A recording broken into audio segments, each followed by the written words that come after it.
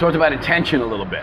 What does it mean? Why should you wake up in the morning with an intention for your day? Well, there's power behind it. As I said, there's a direct correlation, a direct line between intention and outcome.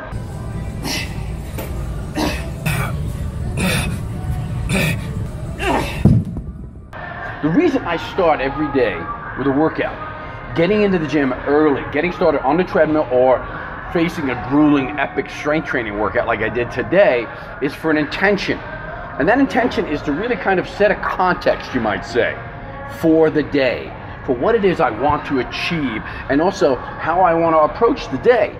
You know, it's pretty easy to crawl out of bed in the morning, get a cup of coffee, grab a Danish, and just hope like hell you make it through the end of the day and hope like hell you survive to the end of the week into the weekend so you can maybe have a little fun get a little rest and then hope like hell you survive the weekend to make it into monday and get through the rest of the week.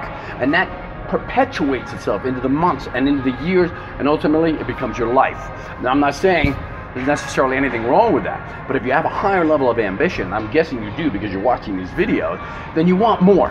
And that more begins with an intention certainly big goals are something that we'll strive to achieve but intention moves us on a daily basis. It's what gets us up out of bed gets us moving and as i talked about creates a context. For me personally getting up in the morning getting to the gym and challenging myself in that workout every single time or better still having someone that challenges me like my training partner mike is what sets the context for me on a daily basis. Now I know I'm not just at that level where it's survival. I'm not just at that level where I'm ready to face any and every challenge that comes my way, but at a whole higher level, another level, which is putting those challenges out there for yourself to face and to conquer.